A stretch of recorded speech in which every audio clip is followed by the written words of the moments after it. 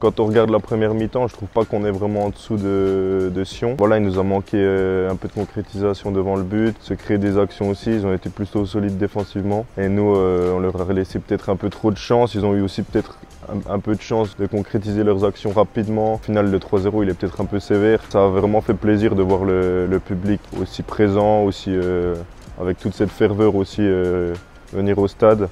C'était déjà le cas contre IB et j'espère que ça sera le cas encore, euh, encore quelques fois euh, cette saison. C'est vraiment décevant d'enchaîner trois défaites comme ça et d'être dans un moment de creux. Du coup, on est un peu obligé de, remonter la pente, de revenir à l'entraînement, de travailler. On a envie de se racheter aussi auprès des, supporters, des gens qui nous suivent. On améliore euh, les choses qui nous manquent à l'entraînement. On met vraiment le, point là-dessus. Dans le groupe, on reste, on reste soudés. On continue de bien vivre ensemble. J'espère que, ce travail et que cette ambiance, se, se montrera sur le terrain pour les prochains matchs.